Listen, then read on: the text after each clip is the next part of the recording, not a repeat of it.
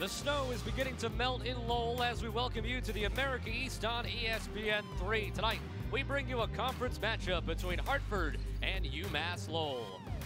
Hi, everybody. Welcome courtside with the coach, Helen Williams. I'm Scott Sudikoff. Very happy to have you with us for this conference matchup between the Hawks and the River Hawks. And Helen, Hartford coming in 2 0 to begin the conference season. A big win against Albany last week, picking up a road win at Stony Brook over the weekend as well.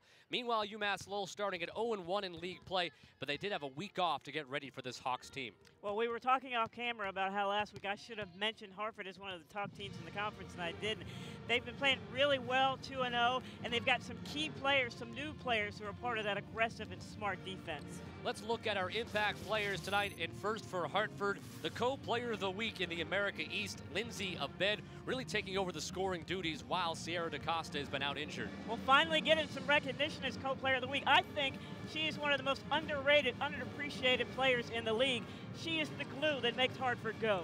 The junior out of Oakton, Virginia. Look at her numbers to get her that player of the week honors 15 and a half points per game and she also rebound and dish it out on the other side for umass lowell we look at redshirt junior brianna rudolph a new dynamic to this Riverhawk offense. She had, she had seven double-figure scoring games this year. Well, their freshmen have been shouldering the load in the early part of the season, and we talked about them needing a veteran presence, and Rudolph has brought that leadership.